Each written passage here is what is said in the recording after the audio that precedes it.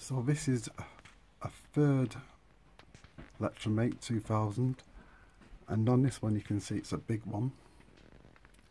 Look at the ceiling height, it's like the ceiling as opposed to the smaller one. Thank you very much. Now on this fault we've got three faults on this unit. The first one is not been filling up the system. That's because the autofill valve which is pretty tight in here. This unit there that's faulty. It's not allowing the system to fill up. So I'm going to replace that. Also we're going to replace the heating element.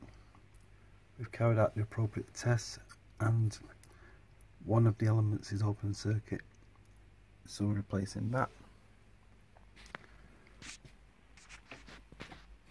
and also we're replacing the PCB. The reason why I'm replacing the board is we've got power going into it.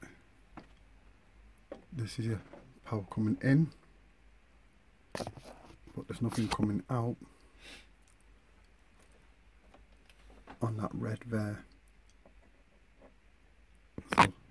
So that's why the board's getting replaced.